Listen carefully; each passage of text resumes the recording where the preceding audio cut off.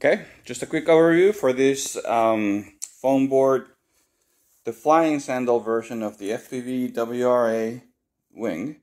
Uh, built this one for my buddy Callie, so let's just do a quick view.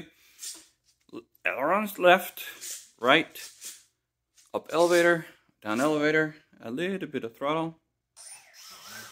There we go, it's ready to go.